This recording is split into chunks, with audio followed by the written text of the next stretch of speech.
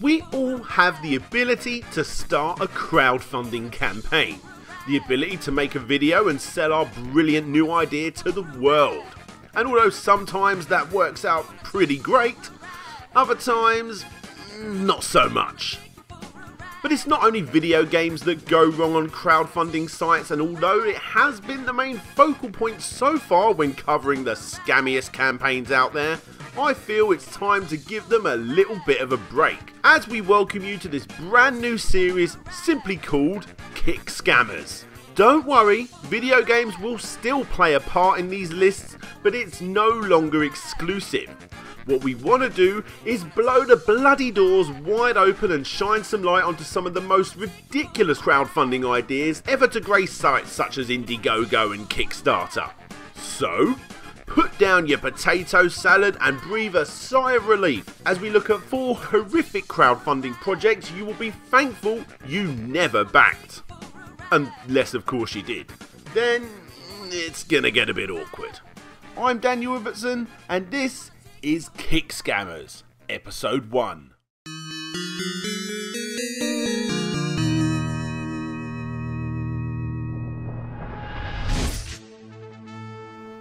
We all need to shave. Mm, some more than others. But if you're like me, you probably keep hold of those razors a tad longer than the use by date until that nice, clean glide the first time you use it then becomes a skin ripping, cheese grater feeling mess. Wouldn't it be great to have that smooth shave feel every single time you use the razor? Introducing the Laser Razor. Yes, a frickin' laser beam that you rub on your face. Surely nothing's gonna go wrong here, right? Well, originally the campaign asked for a wafty $160,000, but actually ended up getting $4,500,111. That's before it was cancelled. Not by Skarp Technologies, mind you, but instead Kickstarter themselves. Hello, folks.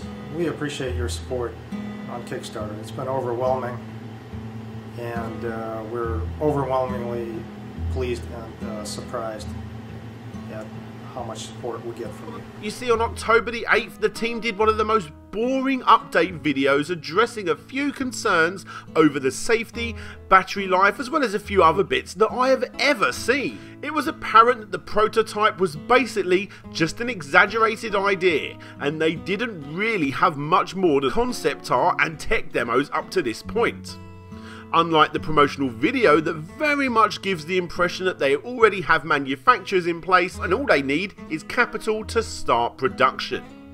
We really need your support to put the Skarp Razor into production. We have preliminary agreements with manufacturers, but we require capital to begin orders.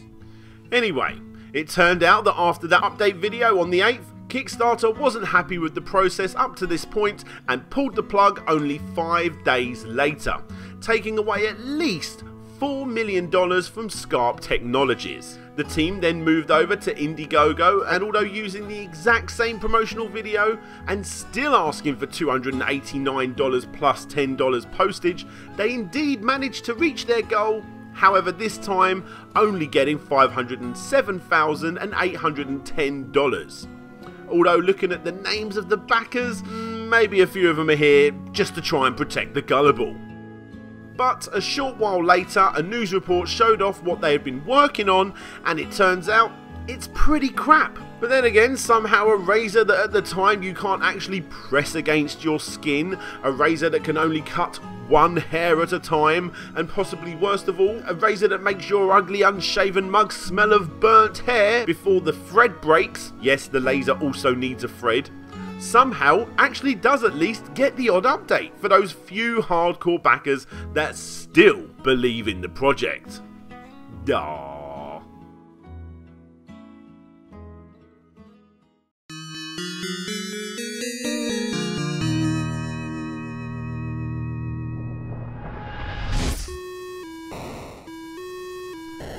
Who wants a new console? Don't worry, I'm not talking about that or that. Nope, today we are looking at the Cyber Matrix 100 TU01. What you are looking at here is a promo video on the page that did get funded by 29 backers pledging $504 of a $500 target.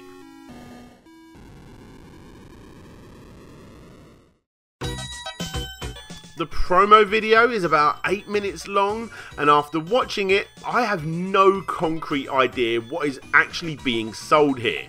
Something about two devices that give you the ability to make games, movies, and music inside a cyberspace matrix, whatever that is.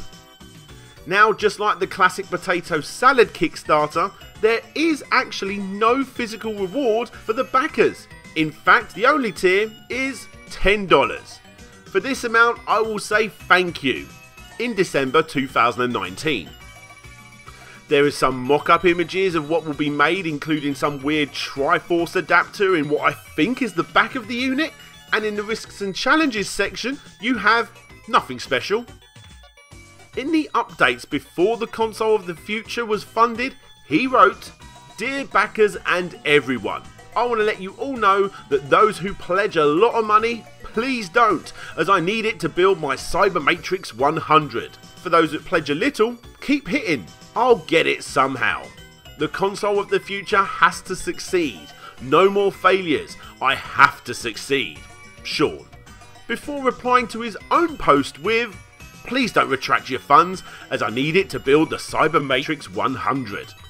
Now, obviously, nothing much has happened here, except for this being one of seven projects, five of which are just this project again, and another two being books about fish. This story begins when Pascaya Sikono enters a heated battle with Lord Shanayo Johnson and attempts to re-steal a special ancient laptop left by Jehovah Christ. Pascaya kills hostile leaders as he waits for the laptop to arrive after the fall of the dark. Now, I'm not here to point fingers and laugh at someone that is most likely mentally unstable. But what I will say is out of those seven projects that this guy has put forward, not one of them was cancelled by Kickstarter. I mean, heck, who knows, in 2019 we may be getting the cyber console of the future. But I personally have my doubts. If anyone has any answers on how to make my Cyber Matrix and to promote my project, let me know. I also need help on how to build my Cyber Matrix. Do I need soldering tools? Can I use hot glue? Or maybe even Lego? For me, this just goes to show the process in place for creating a Kickstarter is very much open doors for anyone, regardless as to whether or not they actually have the ability to go ahead and complete it. But then again, I have a hunch that the backers for this particular project knew exactly what they was getting themselves into. I'm going to make an animal cross dating sim. I'm not a furry, I just really like animals in that way, you know?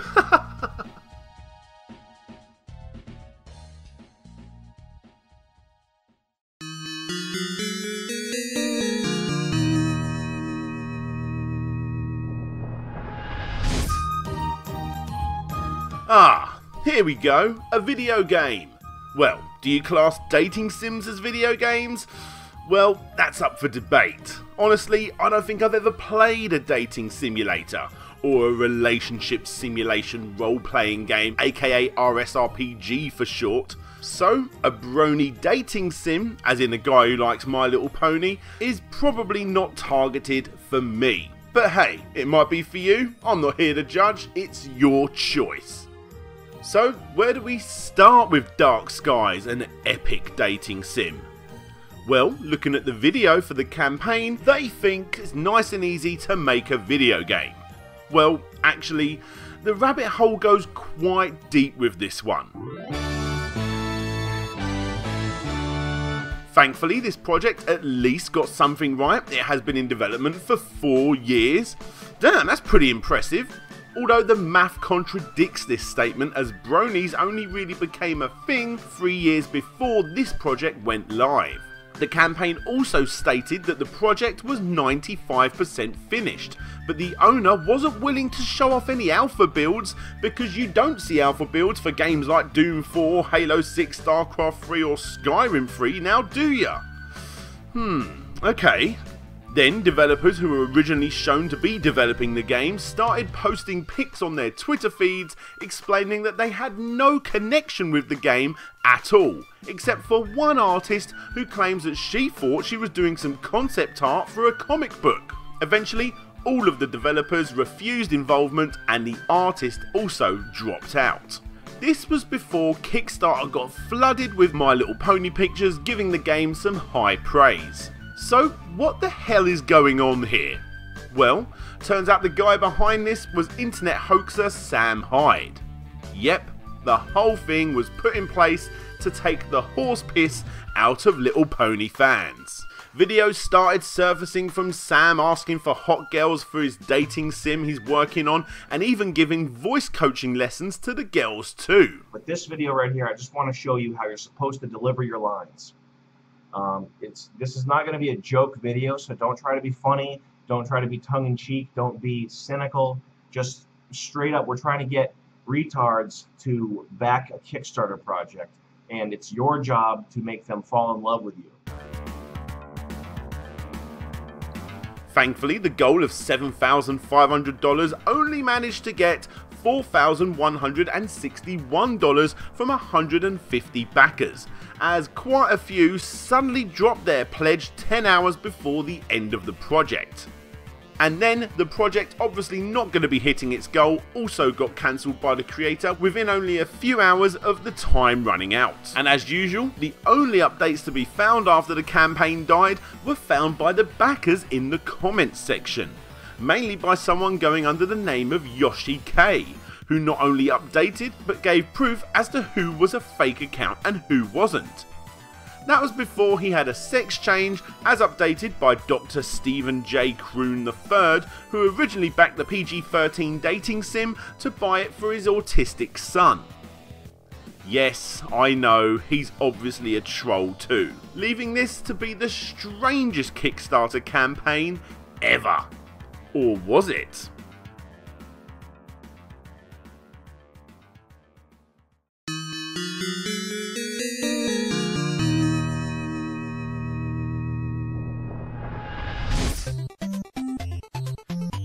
Kickstarter is not the only way to fund your project. You've obviously got Indiegogo, Crowdfunder, Rocket Hub, Fundraiser, Go Get Funding, Start Some Good. There's bloody loads. However, there's apparently not enough, and the latest craze with game makers is Patreon.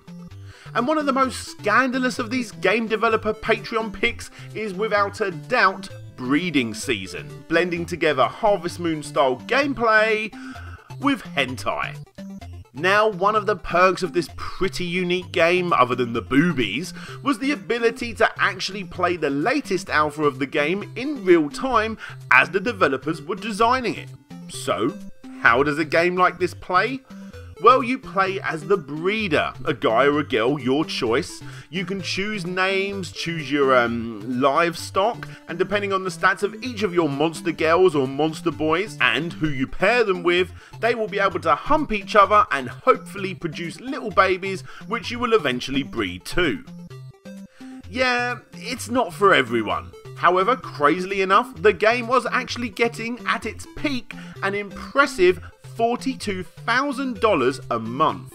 But bringing this fairly questionable game to your now in need of a wash eyeballs isn't the only reason I bring this up. Because, just like so many crowdfunding projects that we've brought up in the past, the main guy behind the project, one Vladimir Sandler, ran away with the money. Now, as this is a monthly Patreon rather than just one lump sum like we're used to with other crowdfunding sites, the full amount he managed to run away with is up for debate. However, looking at the blogs of the developers who have all been left abandoned, it's apparently $190,000. Now, before you get all your pitchforks out in an angry and probably horny rage, let's look at both sides of the story. According to the developers, Sandler had the right, thanks to the wording of his contract, to walk away with not only half the entire studio's savings, but also, apparently in malice, stripped his own assets from the game, which accounted for half the work up to that point. and he even threatened legal action if they used his artwork, leaving the game in an almost start from scratch scenario and ultimately ended up completely closing the doors on the project for good. Now, according to Sandler's own personal blog, the game would never see the light of day, and even if the team worked 24 7, it would just never get finished, and therefore he did what he needed to save what he could and start another Patreon. This time, not only making it a farming slash breeding simulator game, but also adding elements of dungeon crawling too. At the time of making this video, it's getting $13,412 from 3,383 backers. And what of the backers of the original project? Well, other than the odd alpha version which is still lurking around the dark corners of the internet, just like the monster guys and monster girls in the game, they're pretty much Hey there guys, whether you're watching this on Larry Bundy Jr.'s channel or My Slopes Game Room channel, thanks very much for watching. Click the links on the screen or in the description to check out either of our channels and Patreon pages. But for now, that's it from me. This is DJ Slopes signing out and hopefully I'll see you all next time.